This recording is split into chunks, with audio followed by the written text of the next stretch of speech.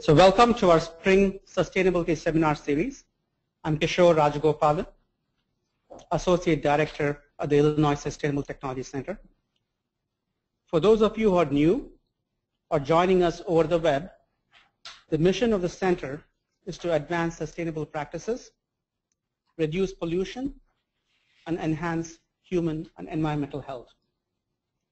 We are one of five surveys organized within the Prairie Research Institute the Institute, through its objective integrated research, seeks to ensure sustainable economic development, enduring environmental quality, and cultural resource preservation for the people, businesses, and governments of Illinois.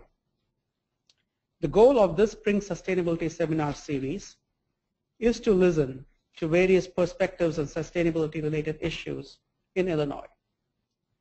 We have encouraged our speakers to articulate their priorities, perceived needs, opportunities, and ongoing work to stimulate broader collaboration and to find common ground. I'm pleased to welcome today's speaker, Margaret Guerriero, the Director of the Land and Chemical Division, Region 5 US EPA.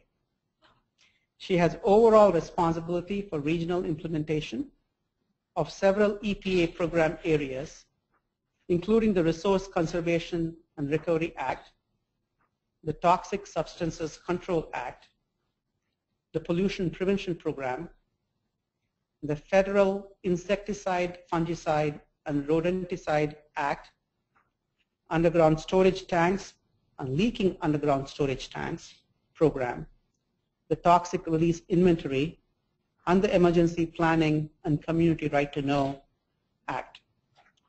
The division also has responsibility for the regional Children's Health Program. Most recently, Ms. Guerriero spent a year working in two different assignments at EPA headquarters in Washington, D.C. She served as a Deputy Office Director for the Office of Resource Conservation and Recovery, and later as a Deputy Assistant Administrator for the Office of Air and Radiation. Ms. Guerriero has previously served as a Deputy Division Director in the Superfund Division in the Chicago office. Margaret's management responsibilities in this program included the Superfund, Superfund program, the Brownfields program, and the Oil Pollution Act program. She has also served as chief of the region's emergency response branch, as well as the director of the Air and Radiation Division. Margaret is a native of Chicago and a graduate of the University of Illinois, Champaign-Urbana, where she earned a degree in geology. Margaret and her husband have three daughters who have also attended the University of Illinois. Her youngest daughter is it Sophia? Okay, Sophia will graduate from the university in May in global studies, right? Okay. So before we get started, a couple of housekeeping points. Restrooms are in the hallway across the reception and through the door to my right.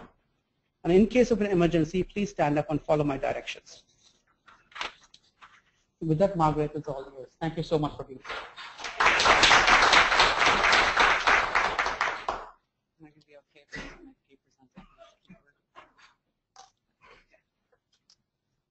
Okay, um, good afternoon. Thank you very much for having me here today. Um, delighted to be here. It's always great to come back to campus and uh, talk about a really um, important uh, topic and one that's near and dear to, to my heart. Um, and it's nice to have my daughter be able to see me um, give the presentation. Uh, so when I was asked to do the presentation, I sat down with my staff to talk a little bit about what we might want to talk about because um, this is actually an interesting question about how EPA is implementing uh, sustainability into our programs because as a lot of you know, EPA has been around for over 40 years and we are primarily and have been historically a regulatory program. And so many people, both outside the agency and inside the agency, um, questioned whether this was there was a role for EPA in um, sustainability. And uh, if there if there is, where is it? You know, how does sustain, how, how does implementing sustainability um, mesh with enforcing regulations? Um, so we, you can imagine there was quite a bit of internal and external conversation. Um, we've had long-standing programs like the pollution prevention program that um, has worked in many of the concepts, worked, worked with many of the concepts of sustainability. Um, but some of the other programs um, took a little bit longer to really get their arms around what sustainability uh, means in, in those program areas. So we decided with a nod to Mr. Letterman, who, since I put this talk together, is retiring now, so I have to do a new one with a Stephen Colbert uh, flair maybe next time. But um, we decided that we would do the top 10 things that EPA is uh, doing to um, incorporate sustainability into our programs at the EPA. Okay, so our mission is pretty broad. It's to protect the air, um, water, and land. And as I said, we've been around for a long time, and we're primarily regulatory. So um, in 2010, our previous administrator, Lisa Jackson, asked the National Academy of Sciences to look at this question of what is EPA's role uh, with respect to sustainability. And in uh, 2011, uh, the National Academy of Sciences um, put out this report on sustainability in the U.S. EPA, and that is the link um, to the study and to um, their findings. But the good news is that they agreed that EPA should uh, play a major role in uh, sustainability uh, in the country. This is our current administrator, Gina McCarthy, who I actually worked for when I was in Washington, D.C. Great lady, really smart, and um, working really hard on um, lots of things for the administration. Um, one of the things that she's done is put out the EPA's um, strategy for, or strategic plan for 2014 to 2018. And in it, it very clearly talks about um, the role that EPA plays in sustainable, in a sustainable future. And these are the four areas that um, are outlined in that plan um, for EPA's work. So we're going to start with our top 10 um, things. And so the, top, the number 10 thing that EPA is doing is advancing the development of sustainable products and supporting green purchasing activities. And I want to give you three examples of how we're doing this. The first one is Design for the Environment. Are you familiar with this um, program? Okay, so this is a program, for those of you that aren't, that um, identifies ways to um, reduce the toxicity of consumer products and works with um, producers and uh, manufacturers to do that. Um, this is the, the label that you see on the product. If um, this has a pointer on it. Oh, to do that. There, there's the design for the environment label. And um, you've probably seen there's a few products that actually advertise that when they have commercials on TV with that they are designed for the environment um, approved. So right now we have about 2,500 products that have this label, and each year we are adding more products uh, to that. Another thing that we're doing is um, the Presidential Green Chemistry Challenge. So green chemistry is the design of um, products and processes that reduce or eliminate the use of chemicals um, and hazardous uh, substances. And so the uh, Green Chemistry Challenge is to try and challenge um, folks to come up with ways to reduce or eliminate uh, toxic aspects of um, products. And um, these Green Chemistry Challenge Awards are highly sought after and highly competitive, and they recognize the chemical technologies that incorporate green uh, principles into the design and manufacturing use of products. Um, so the results here on the slide are for um, through 2013, from the inception of this program to 2013, you can see that there is uh, quite a um, large amount of recovery or, uh, the recovery of hazardous chemicals and uh, reduction of water and energy use.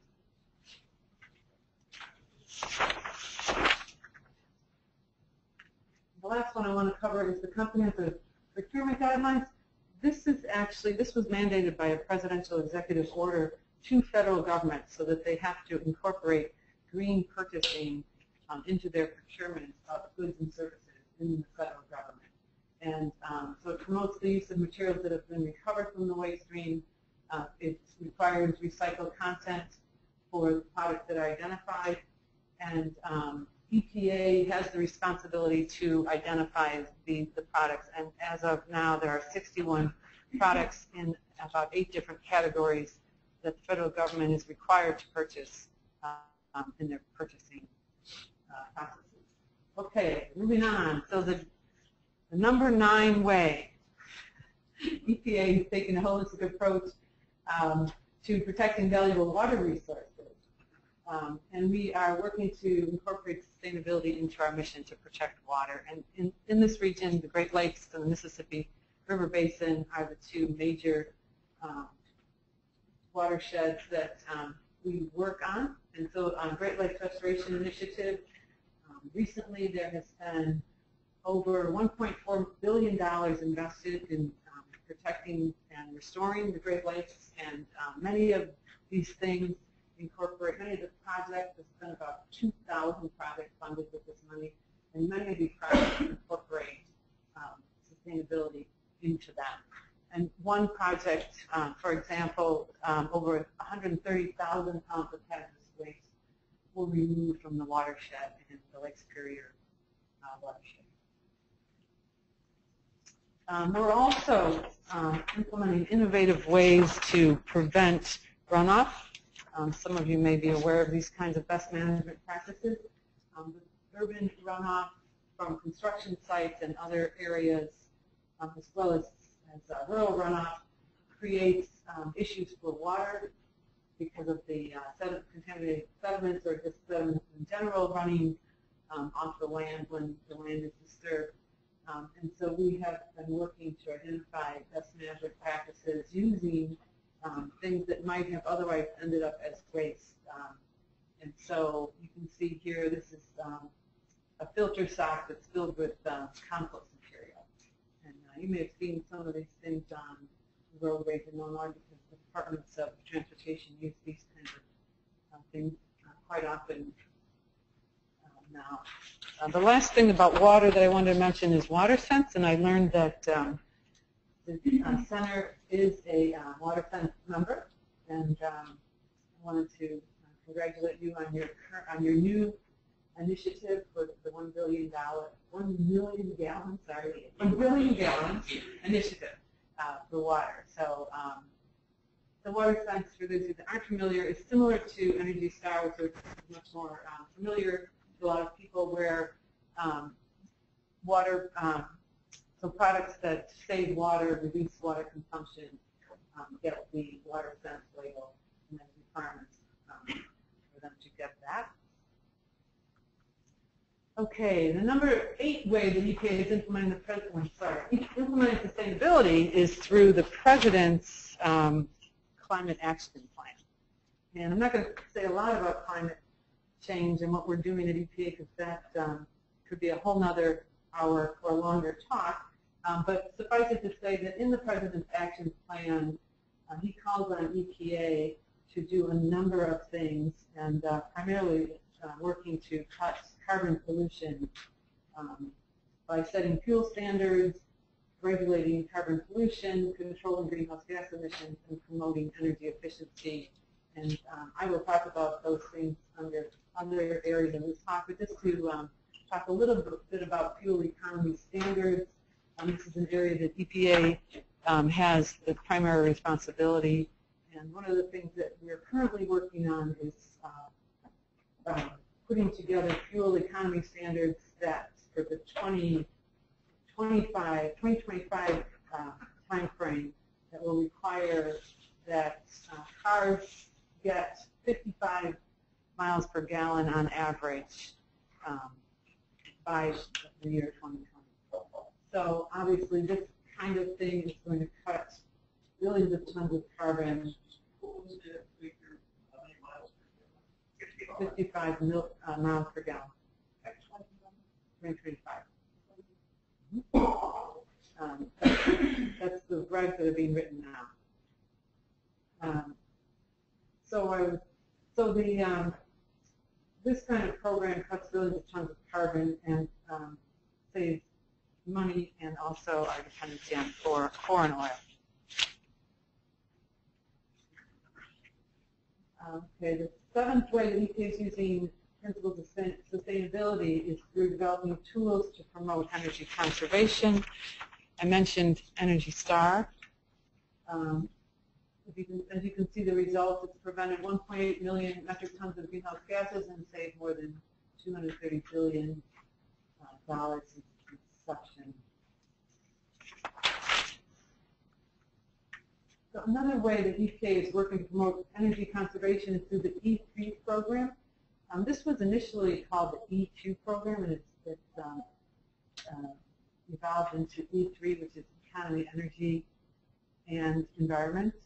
Um, and this is a program that is uh, puts together a framework involving a number of different federal agencies that come together to work with um, manufacturers in communities. So it's geographically focused, and the different agencies bring different things to the table, including technical assistance and um, financial resources to uh, groups of industry in a, in a given community and help um, with um, reduce their energy consumption, help protect and um, preserve environment and, conserve resources, and then um, impact the bottom line for these companies. And um, I know that you have been working on E3, and um, let's see what the, uh, I'm not sure the time frame that you've been working with um, industries, but this is the result that my staff was telling me that you guys have achieved so far. So very impressive um, numbers for the work that um, the center is doing on uh, E3 with, with the different Illinois manufacturers in different areas. Okay, so um, the sixth way that we are implementing um, sustainability in our programs is through a variety of programs to reduce landfill methane emissions. Um, obviously, lots of landfills around. Um, we have tried to develop technologies. We've worked with a lot of uh, different centers to develop technologies that can capture methane from existing landfills. Um, and we have the landfill um, landfill methane outreach program that helps um, communities deal with these on an ongoing basis. But the idea really is to try and avoid sending things to landfills that are going to end up creating methane. So we are focused on a couple of ways to try and avoid that. Um, many of you might be familiar with the food recovery hierarchy, and the top thing to do um, to avoid food waste going to landfills is um, source reduction and EPA has launched the Food Recovery Challenge. Um, we are in our second year of that challenge. We've signed up a number of um, companies and uh, municipalities to help us um, deal with the um, problem of food going to landfills. Um, I think I heard a figure of it's about 36 million tons of food waste generated um, in a year in the United States that doesn't end up being um, consumed and goes to landfill. And um, in our first year in in uh, the Chicago, in the Midwest area, we have um, signed up for uh, participants that have diverted more than 70,000 tons of uh, wasted food from landfills.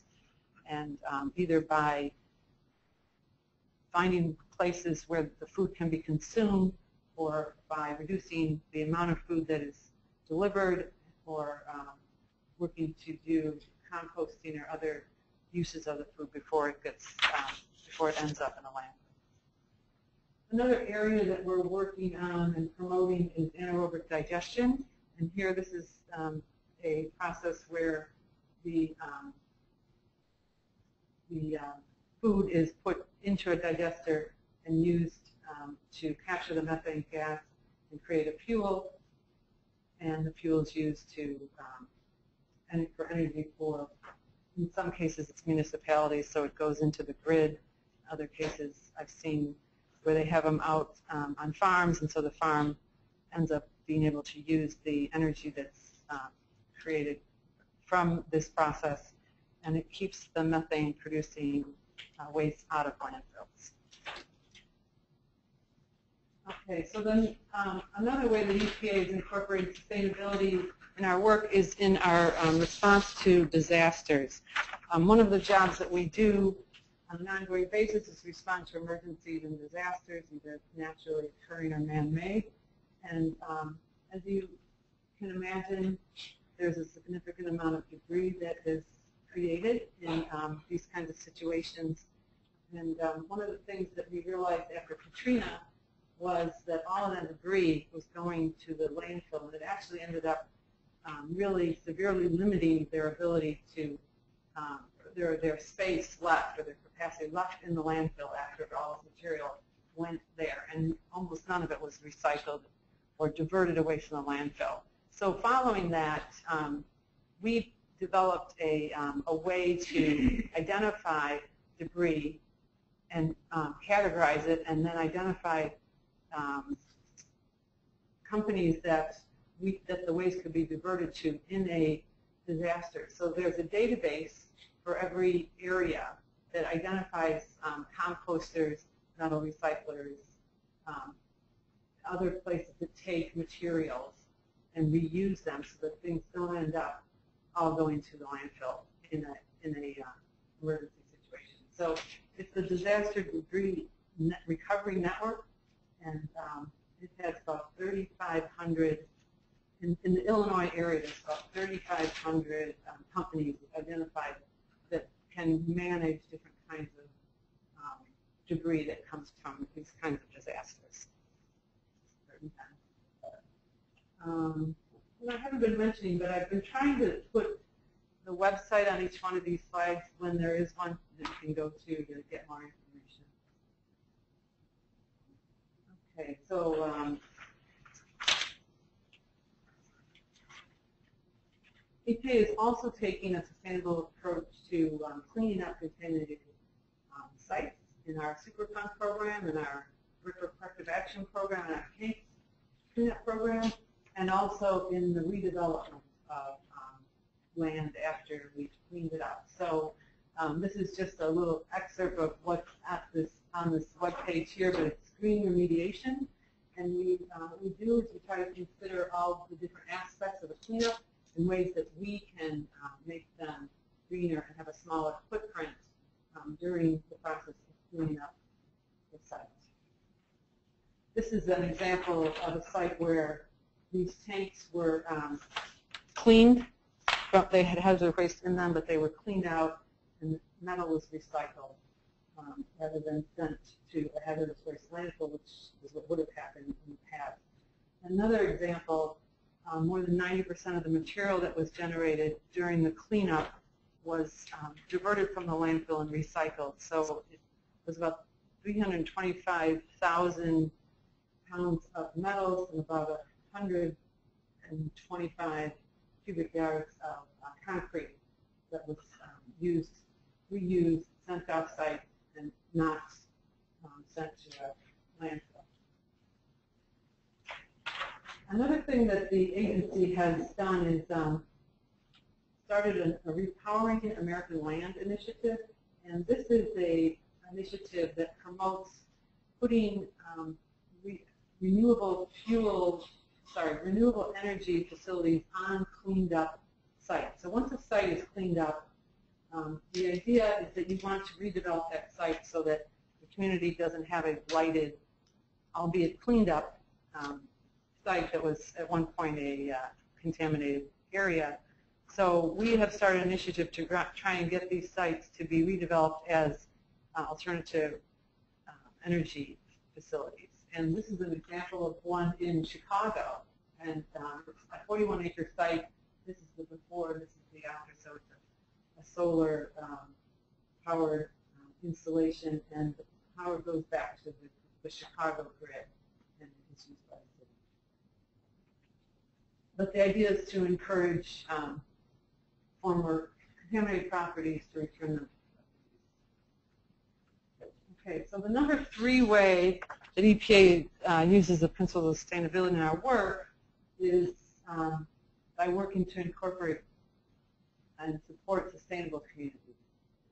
In um, 2009, the um, U.S. Department of Housing and Urban Development, the Department of Transportation, and the U.S. EPA um, created the Partnership for Sustainable Communities. What this is, is a, um, a uh, initiative that helps communities have access to affordable housing, um, increased public transportation, and environmental protection in, um, in a particular community. And there's a lot of tools and um, best management practices and technical assistance available through this program. And um, you can find more about this on the website, but I'm going to show you a couple of things. One of the things that we've done in our region is develop a, um, plan, a pamphlet or instruction on how to um, demolish homes for reuse. So one of the big issues in communities, particularly after the um, economic downturn in 2008, 2009, is abandoned properties.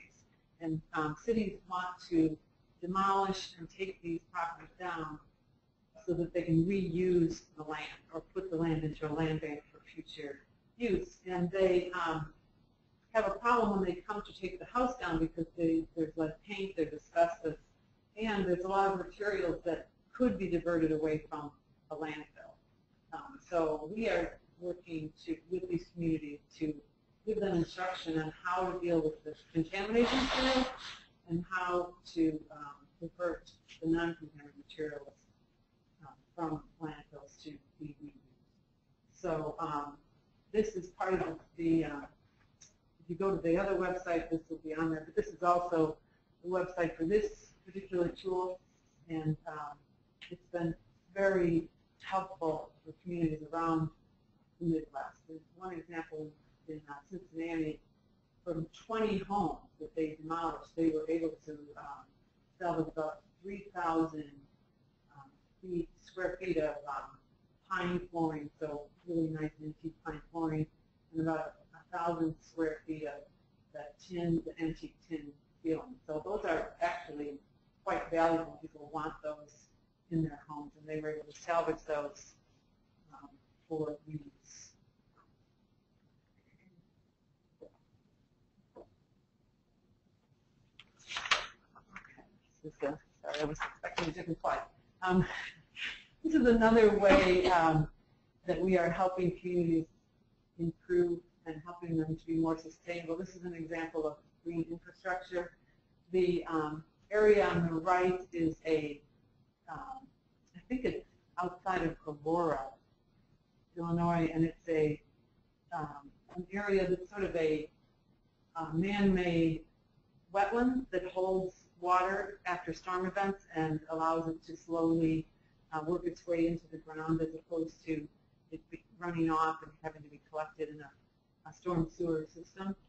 Um, and this area here is in Naperville, I believe, and it's uh, it's got the swale, the vegetative swale in between the parking lot, and also you notice right here there's a cut curve so that the water can run out of the parking lot into the vegetative area.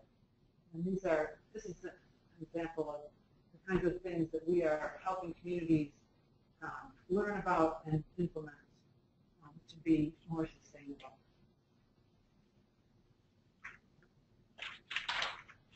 Okay, the number two way that EPA focuses and brings sustainability to their work is through the pollution prevention program.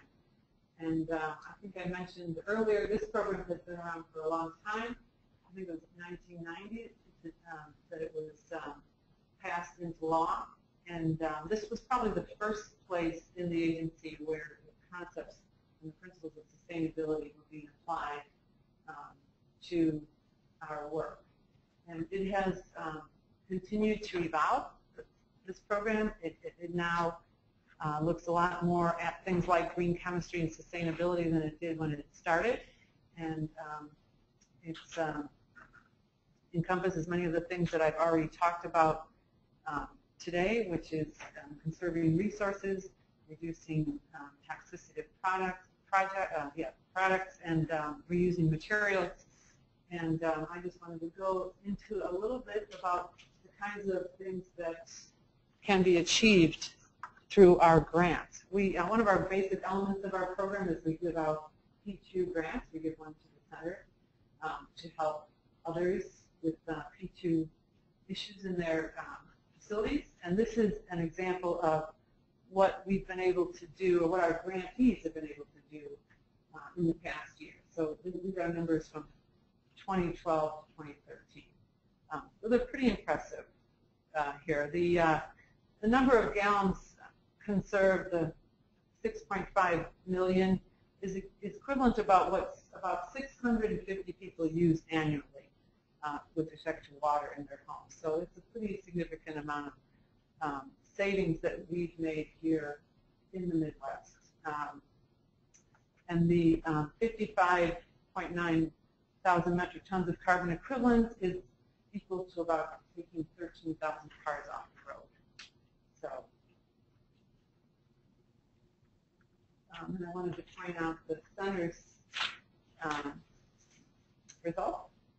from the work that they do.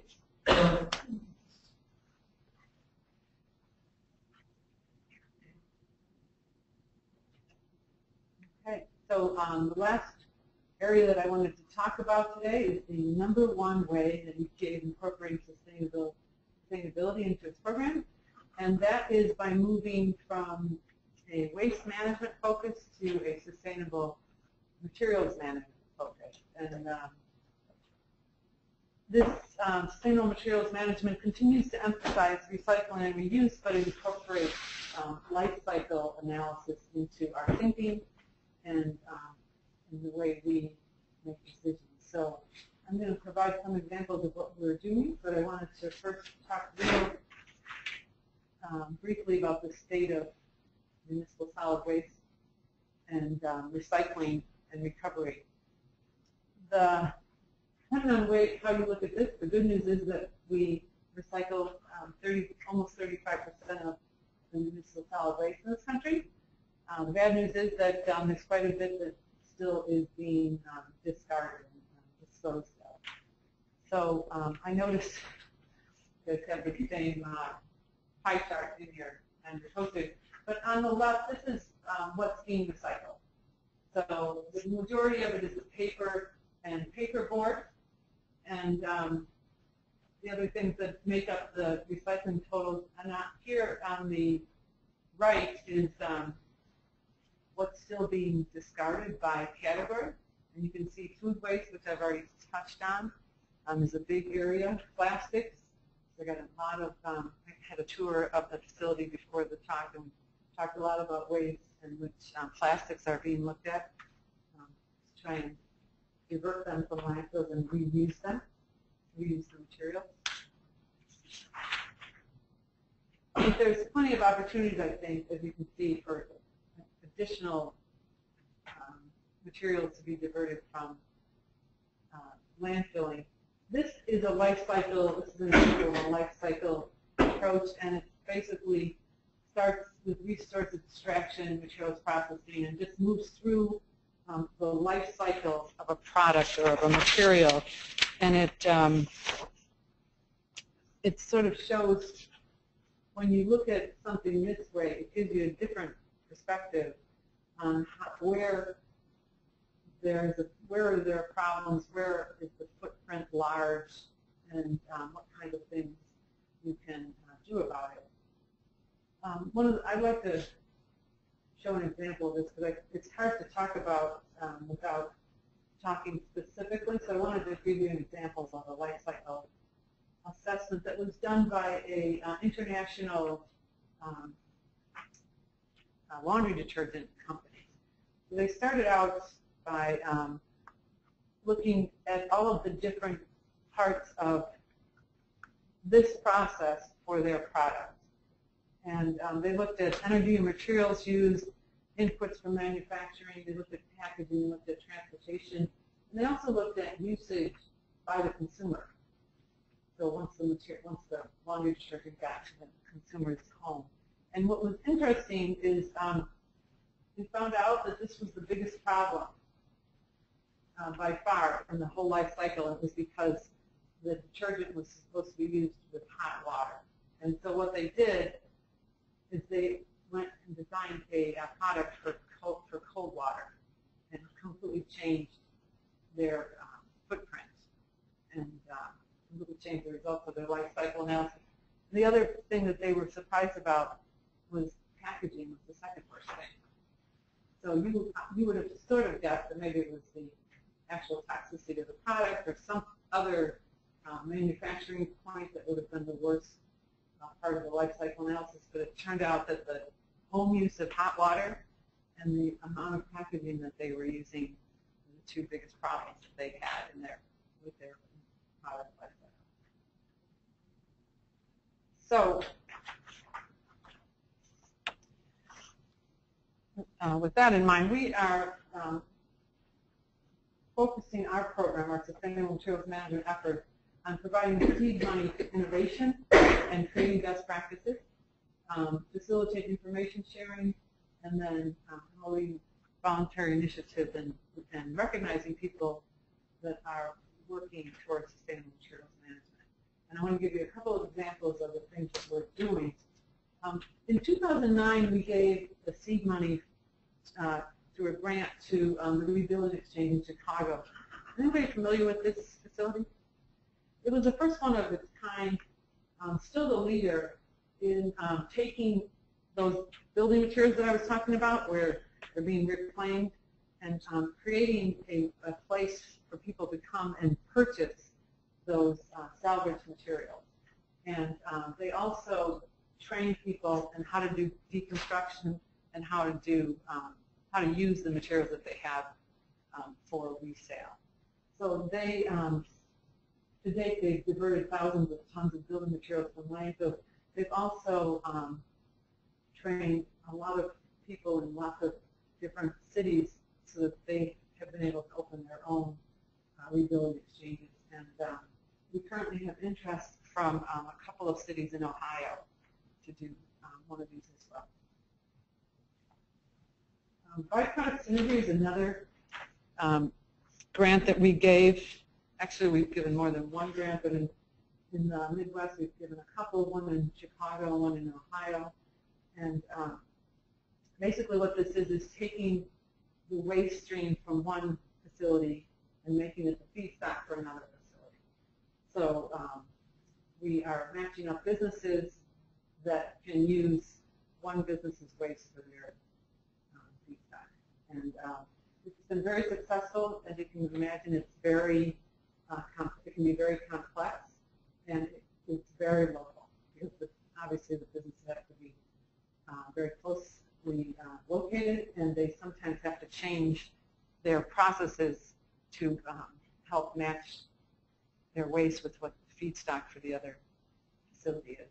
And um, so we have um, funded the Chicago Waste to Profit Network in the past, and um, they had over 300 partners, and uh, they diverted about 150,000 tons of waste and um, saved about $17 million by uh, coming up with synergistic relationships um, and working together to um, divert waste.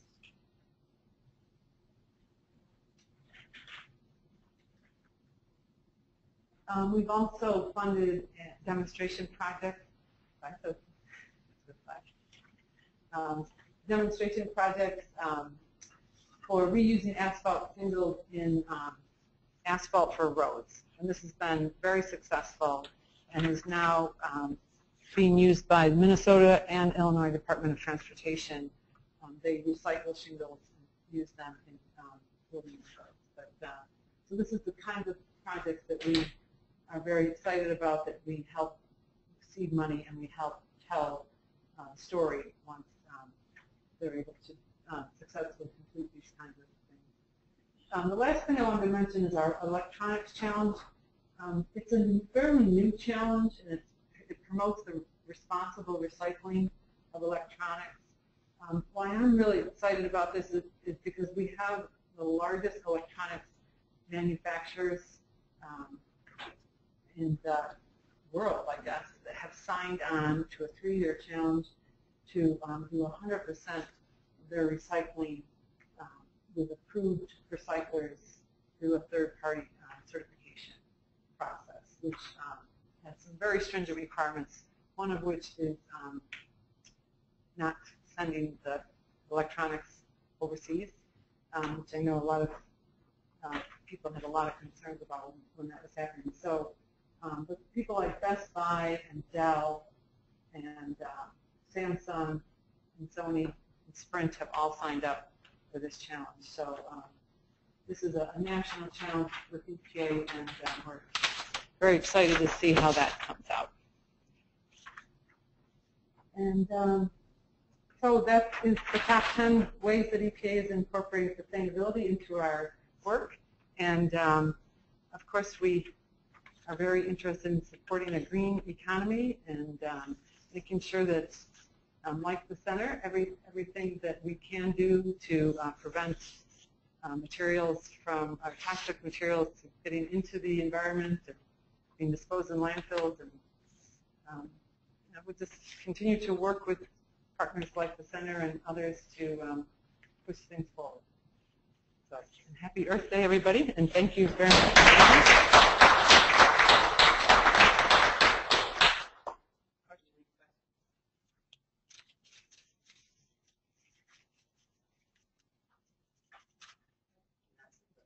Um, When you were talking about the the food waste, you mentioned uh, some different companies, uh, right, what kind of groups were you working with? on, on the food recovery challenge. So um, we have Kroger Groceries, it's our, our largest grocery store, um, and they have lots of different um, facilities. And uh, we also have municipalities, we have um, universities, other institutions that, um, like schools that have food that is, you know, not used or delivered daily. And then our biggest um, outside of Kroger is um, stadiums and events like convention centers like uh, the McCormick Place and uh, we have the Sox and not the Cubs, the Sox and um, the Cleveland and Cincinnati. So a lot of the we have a lot of sports facilities in the in the region. And and so they then um, composting the food waste, or were they reducing So, different aspects? were Okay, there's, there's different things. Obviously, we'd like them to be reusing the food. Or First of all, not bringing more food than we need to, um, in the first place, but um, I'm I'm trying to see if I can find you the numbers. The, um, the, the next thing is to actually bring it to people that need, that are in need of food. So um, 24, so I said 70,000 tons were um, diverted. 24,000 of those tons were donated to feed hungry people, and um, 46,000 tons were diverted to composting facilities. in your uh, number 10 uh, point on uh, procurement, Mhm. I think it's great that EPA has come up with these uh, labels for uh, I've had a lot of trouble with some federal agencies getting them to comply with uh, environmental preferences in procurements. And it's great that EPA is doing this, but I just want to see you know, what your experience has been uh, in terms of actually you know, getting buy-in and you know, particularly from the guys you know, who are protecting the world, the country. That's, Right, so I just, my regulatory mindset just clicked in and said, oh, we should probably take some enforcement actions against other federal agencies. Okay. We do- We do sometimes have trouble, um, we try to educate, we try to outreach and educate to them. Um, One, uh, in particular, when the stimulus package came through and there were a lot of federal agencies putting a lot of money out uh, through grants and things, we tried really hard to get um, their attention and to put those requirements into their grants and contracts because they are required to pass them down to those that are receiving uh, funds. Um, But yeah, it is, it's not everybody's as aware of those uh, requirements as they should be. Um, So actually, maybe think on the way home about how I might do a better job of getting the word out. Um, You may have covered this, I'm sorry, I missed the beginning of the presentation. But um, topic recently was raised uh, from the uh, recent EPA report regarding embedded emissions from our stuff. And of course, the university annually does a carbon inventory of campus. Right now, we're having a discussion about waste being a very thin sliver of that carbon footprint and whether it's perhaps underrepresented. Um, Get your take. Yes, and actually, there was a couple of years ago, there, internally within EPA, there was a lot of discussion about whether landfills should be considered, uh, you know, where they should end up on the, as far as what their requirements would be. Um, obviously, they give off methane, so they uh, have, you know, 20 times the impact of CO2. So um, from the materials management perspective and, and from um, trying to prevent waste from contributing, um, we have argued that um, landfills should be um, considered sources and should be regulated uh, for their methane. Is that, is that what you were asking? Is Yeah, indirectly. Okay. Um, The, uh, the bigger portion I was kind of looking at was, based on the report that I read. The embedded emissions of our stuff are actually bigger, bigger carbon footprint than heating our homes or transportation, for instance. Mhm. So then the question was raised, well, where is the line for us to draw on our carbon footprint as a university? Should we Hmm. really be taking responsibility for the emissions of mining, for instance? Where, where is that line? So who should take the responsibility of cutting those emissions from the upstream process? I haven't talked about it. It's a really good question. Actually, I'm thinking about some of the things I've seen, some of the data I've seen on it. Um, I don't, I, I'm not sure I can actually answer the question at this point, but um, be happy to talk more with you about it. Um, 'cause I'm, yeah, it's a tough question.